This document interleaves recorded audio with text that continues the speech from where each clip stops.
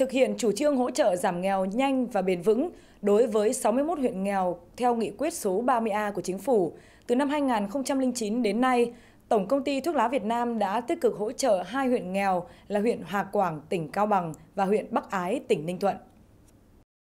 Mới đây nhất tại xã Đào Ngạn, huyện Hà Quảng, Tổng công ty Thuốc lá Việt Nam phối hợp với Ủy ban nhân dân huyện Hà Quảng tổ chức lễ khánh thành và bàn giao công trình trường mầm non Đào Ngạn. Công trình có tổng mức đầu tư gần 11 tỷ đồng, được xây dựng khang trang hiện đại đạt tiêu chuẩn quốc gia với tổng diện tích mặt bằng xây dựng là 2.730 m2.